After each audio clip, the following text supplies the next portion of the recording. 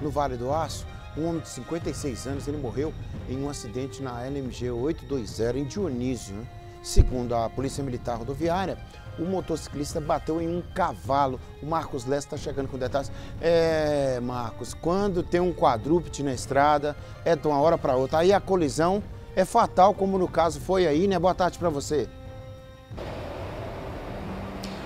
Oi, Nico. Boa tarde para você também, para toda a nossa audiência. Nico, esse acidente aconteceu na noite do último sábado, na altura do quilômetro 34, na LMG 820, em Dionísio.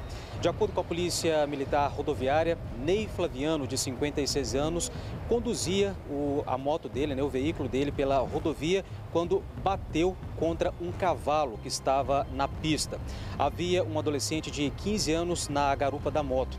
Esse adolescente, com impacto, sofreu ferimentos pelo corpo. A equipe do SAMU compareceu ao local e o conduziu para um hospital ali da região é, após esse acidente, né, é, estava acontecendo um encontro de cavaleiros ali na comunidade de Bastos, que é a zona rural de Dionísio. O cavaleiro né, que estava é, nesse animal, nesse cavalo, ele caiu né, e sofreu ferimentos no rosto. É, os socorristas também o conduziram para o hospital ali da região e depois ele foi liberado. O corpo de Ney Flaviano, de 56 anos, foi sepultado na tarde de ontem no município de Dionísio. Eu volto com você, Nico. É, não é fácil não. Não é fácil não, Marcos. É tragédia, né?